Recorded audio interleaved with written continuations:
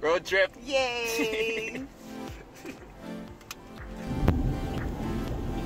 So we're going to Mega Mart. I think. I think we're going to Mega Mart too. Or we're going to Fontana first. Or what? Other one. We're going to Fontana for sure. And then maybe Mega Mart. We're excited. okay. So let's see again. Sitting here live from Latoya's car, where we have Gavin applying simple harmonic, simple harmonic motion to his soil suspension.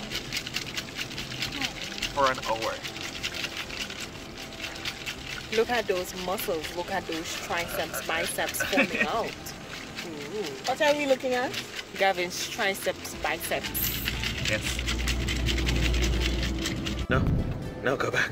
Go. Come back. Come back. Okay, cool, cool, cool. Ready. Look, it says off road. Why is it on the road then?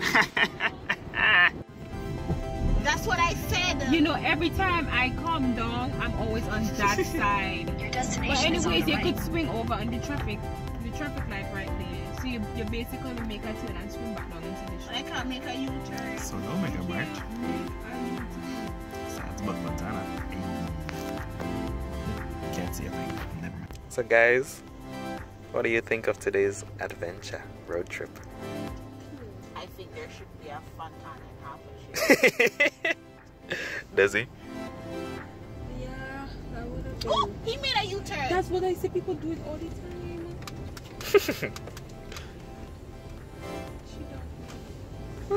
cool. Oh, we made a U-turn.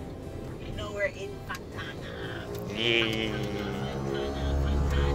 Hey, I've never been to this one. I've only been to the one in MoBay.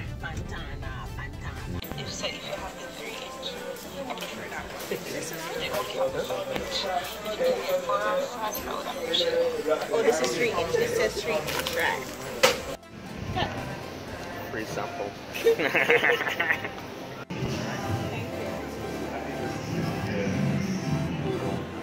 Latoya, Latoya.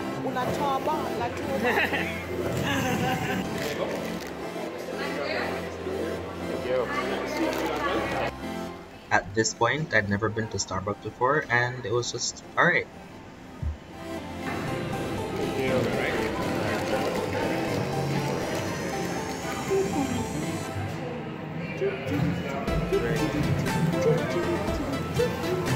Yeah.